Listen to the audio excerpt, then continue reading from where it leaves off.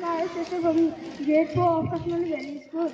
I'm, I'm here to give a short speech on the topic my experience on mini games. I, I,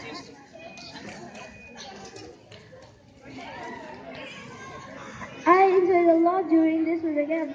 Firstly, I met my old friends and, and we, we did many activities like we danced, went to gym, many more.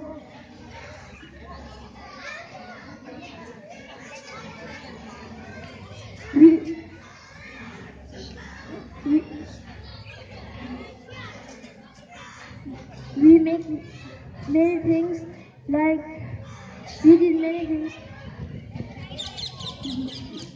My best class is da- dancing. I like dance. Thank you.